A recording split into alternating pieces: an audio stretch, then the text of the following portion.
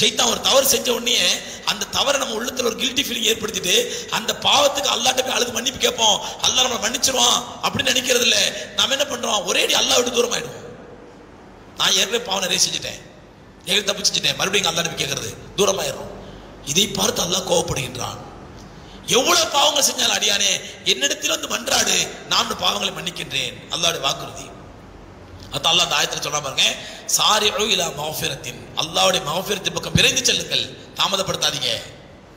தாமதப்படுத்தினா என்ன ஆகும் அப்படின்னு சொன்னா ஒரு பாவம் செஞ்சு ரசூல்லா செஞ்சுறாங்க ஒரு பாவம் செஞ்ச உடனே ஒரு மூமியோட உள்ளத்துல ஒரு கருப்பு புள்ளி விழுந்துரும். மூமியோட கல்புல ஒரு கருப்பு புள்ளி விழுந்துருமா? அவன் உடனே தௌவா செஞ்சான்டா அந்த கருப்பு புள்ளி அழிஞ்சிரும். அவன் தௌவா செய்யலன்னு சொன்னா அந்த கருப்பு புள்ளி அப்படியே உட்காந்துரும் அடுத்த பாவம் செய்யும் பொழுது அடுத்த பாவம் செய்யும் பொழுது அடுத்த புள்ளி விழும். அடுத்த பாவம் செய்யும் பொழுது அடுத்த புள்ளி விழும். இப்படியே புள்ளி விழுந்து விழுந்து விழுந்து விழுந்து என்ன ஆகிடும் ஒரு கடற்கரை ஏரியாவில் கடற்கரை பகுதியில் ஒரு இரும்பை வச்சா என்ன அங்கே நல்ல அழகான ஒரு இரும்பு பொருள் கூட வைக்கிறீங்க. என்ன ஆகிடும் புள்ளி விழுந்து புள்ளி விழுந்து புள்ளி விழுந்து ஃபுல்லாக துருவடைஞ்சிடும் அந்த மாதிரி துருவடைஞ்ச பிறகு அல்லாஹ் சொல்றான் கல்லா பல்ரான் குலோபியும் மாக்கான எக்ஸிபோன் அவர்கள் செய்த பாவங்களின் காரணமாக அவருடைய உள்ளங்கள் துருவடைந்து விட்டன. அதுக்கப்புறம் என்ன நல்லது சொன்னாலும் அந்த உள்ளத்தில் இறங்காது. என்ன நல்ல விஷயங்கள் சொன்னாலும் உள்ளத்துக்கு விளங்காது அவருக்கு. புரியாது. ஏன் துரு ஏறி போச்சு உள்ளத்துல? ஆனால் அதே நேரத்தில் ஒரு பாவம் செஞ்ச உடனேயே உடனே தவா செஞ்சுறாரு ஒரு இரும்பு பொருள் ஒரு கடற்கரையில் வைக்கிறீங்க. ஒரு லைட்டாக பார்க்குறீங்க முதல் நாள் போய் பார்க்குறீங்க புள்ளி புள்ளியாக இருது உடனே அதை தொடச்சி விட்டு என்ன போட்டு வச்சுட்டா மறுநாள் புள்ளி ஆகும் உடனே தொடச்சி என்ன போட்டு வச்சுட்டா இப்படி தொடச்சி தொடச்சி தொடச்சி என்ன போட்டு மெயின்டைன் பண்ணிங்கன்னா எவ்வளோ காலம்னா அந்த இரும்பு பொருள் அப்படியே இருக்கும். துடைக்காம விட்டா மெயின்டைன் பண்ணாமல் விட்டா துருவடைஞ்சு போயிடும். மனிதனோட உள்ளங்களும் அப்படித்தான்.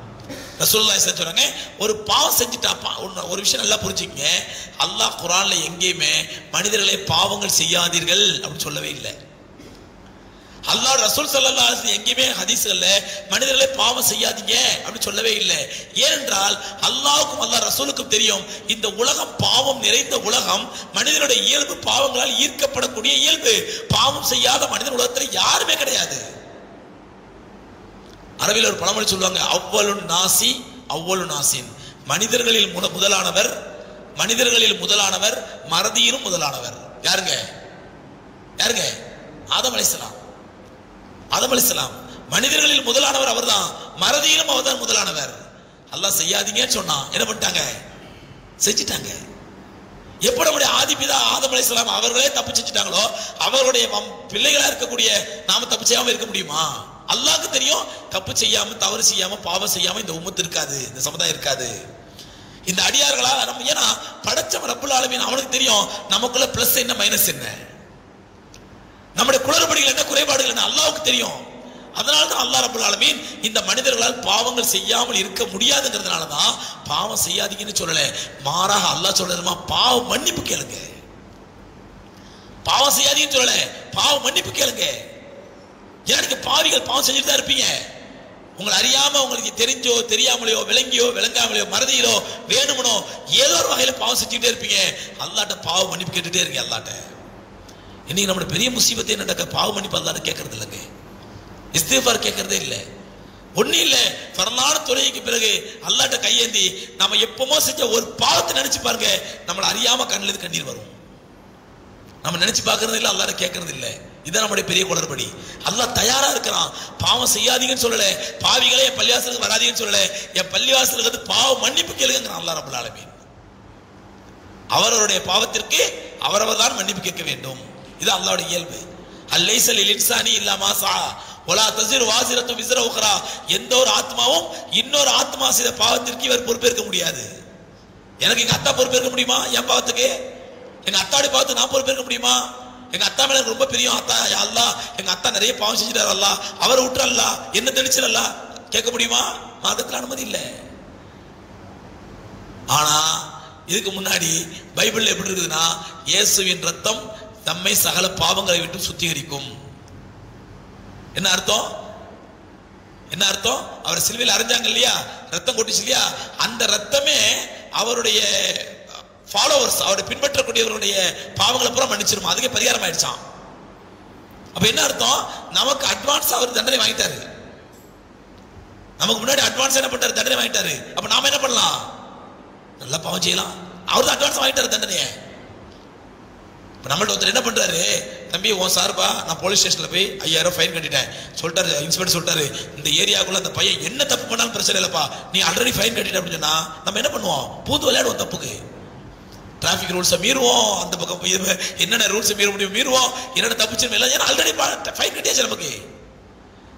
இப்போ சாதாரண போகும்போது என்ன பண்ணுறோம் ரோட்டில் போயிட்டு இருக்கிறோம். ஒரு டிராஃபிக் ரூல்ஸை மீறிட்டோம். அவர் ஃபைன் போட்டு ரிசிப்ட் வச்சுப்பாரு. இப்போ தைரியமாக போவோம். தைரியமாக மீறுவோம் உண்மையில. ஏன்? நான் ஃபைன் கட்டிட்டேன் ஆல்ரெடி எங்கே ஃபைன் கட்டிட்டேன். தைரியமாக உண்மையில போவோம்.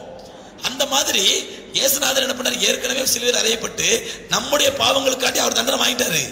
இப்போ நாம என்ன பண்ணலாம்? நல்ல தப்பு செய்யலாம். இந்த மாதிரி பைத்தியகரத்தனமான கொள்கை இஸ்லாம் சொல்வது கிடையாது. நீ அவரவர் செய்த பாவத்திற்கு அவரவருடைய தவறுக்கு அவரவர் அல்லாடு பாவம் பண்ணி கேட்க வேண்டும். ஒலா தசிர் வாசிரத்து விசிற உக்ரா. எந்த ஒரு ஆத்மாவும் அது செய்த பாவத்தை இன்னொரு ஆத்மா தாங்கிக் கொள்ளாது. அதான் அல்லா ரப்பல் சொல்றான் ஓ சாரி இலா மகஃபிரத்தின் மின் ரப்பிக்கும்.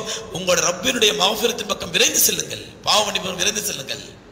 பாவமணி பட்டு பட்டல ஜன்னத்தின் சொர்க்கத்தின் பக்கம் விரைந்து செல்லுங்கள். அந்த சொர்க்கம் எப்படிப்பட்ட தெரியுமா? அர்துவ சமாவாத்து வல்லாரம் அந்த சொர்க்கத்தினுடைய நீளம் வானத்திற்கும் பூமிக்கும் உள்ள நீளத்தை போன்று. வானத்துக்கும் பூமிக்கும் உள்ள நிலத்தை போன்று. வாய்ந்தத்தில் முத்தகைன் இரையச்சம் உள்ள மக்களுக்காக அது தயாரிக்கப்பட்டுள்ளது அந்த சொர்க்கம்.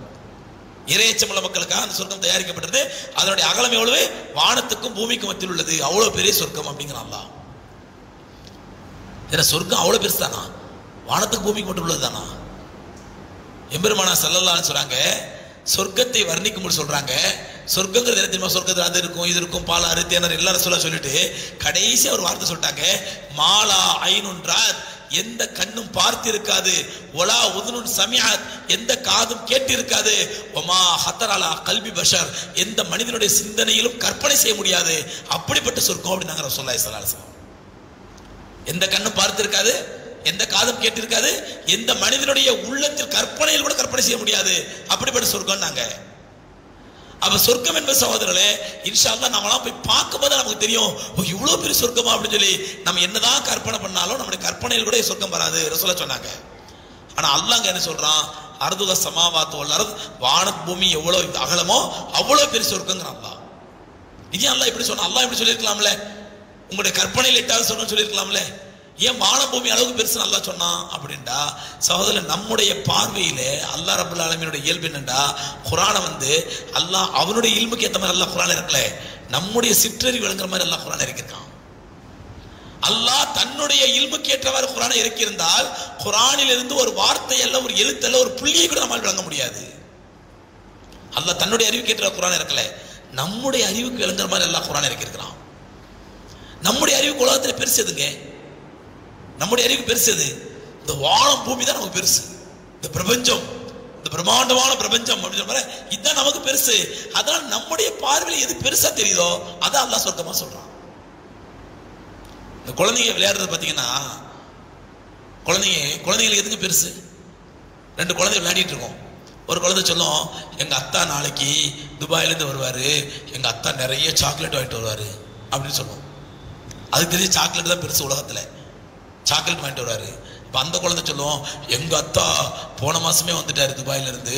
அப்போ எங்கள் அத்தா இவ்வளோ சாக்லேட் வாங்கிட்டு வந்தாரு. அதுக்கு பெருசு எது? இவ்வளோ சாக்லேட்டு வாங்கிட்டு வந்தார். அப்போ அடுத்த குழந்தை சொல்லும் அப்படியா எங்கள் அத்தை நாளைக்கு வரும்போது பாரு இந்த ரூம் அளவுக்கு சாக்லேட் வாங்கிட்டு வருவாரு. பாத்துறீங்களா? குழந்தைங்க பேசுகிறத குழந்தைங்க பேசுறதெல்லாம் கொஞ்சம் ரசிங்க கேட்டு. குழந்தை என்ன சொன்னோம்? இந்த ரூம் அளவுக்கு இந்த வீடு அளவுக்கு கத்தா சாக்லேட் வாங்கிட்டு வர்றாரு ஏன்னா அந்த குழந்தையுடைய பார்வையில பெருசுங்கிறது அந்த வீடு தான் அப்ப அதுக்கு எது பெருசா தெரியுதோ அதுக்கு அந்த குழந்தை சொல்லும். அந்த மாதிரி அல்லா ரபுல்லால மீன் மனிதனுடைய சிற்றறிவுக்கு எது பெருசுங்க? இந்த வானம் பூமி தான் பெருசு. இந்த வானம் பூமி இது வரைக்கும் மனுஷன் ஆராய்ச்சி பண்ணி முடிக்கல இது வரைக்கும் கற்பனைக்குள்ள வரல. இன்னும் பூமி எவ்வளவு பெருசு வானம் எவ்வளவு பெருசா இருக்குது நீ எவ்வளவு தூரம் போகும் இது வரைக்கும் கண்டுபிடிக்க முடியல. பூமியில நீ எவ்வளவு கடல் இருக்குது? கடலுக்குள்ள நீ என்ன இருக்குது இந்த மனுஷன் கண்டுபிடிக்கல. இவ்வளவு டெக்னாலஜி வளர்ந்த பிறகும். அப்ப இந்த மனிதனுடைய அறிவிலே இந்த வானம் பூமிக்கு மத்தியில் உள்ள இடைவெளி தான் மிக பெரிதுங்கிறதுனால அதை அல்லா ரப்பல் ஆலமீன் உதாரணமா சொல்றான். நமக்கு விளங்குற மாதிரி. இல்லைன்னு சொன்னா கண்மணி நாயம் செல்லால் சொன்னாங்கல்ல மாலா ஆயிரன்றார் எந்த கண்ணும் பார்த்து இருக்காது எந்த காதும் கேட்டு இருக்காது ஹத்தர் அலா கல்வி பஷர். எந்த மனிதனுடைய சிந்தனையிலும் சிந்தித்திருக்க முடியாது. அப்படிப்பட்ட சொர்க்கம் சொன்னாங்க பாருங்க அதுதான் பெருமானா சல்லல்லாஹு சொர்க்கத்தை சரியான முறை வர்ணிச்சது. நம்ம யார் கரம்பலாலும் சிந்தி பார்க்க முடியாது. ஆனால் அல்லாஹ் சுப்ஹானஹு வ சொல்றது நம்முடைய அறிவுக்கு நம்முடைய சிற்றறிவுக்கு இந்த வானமும் பூமி தான் பெருசுங்கிறதுனால அதை அல்லா உதாரணமாக சொல்கிறான்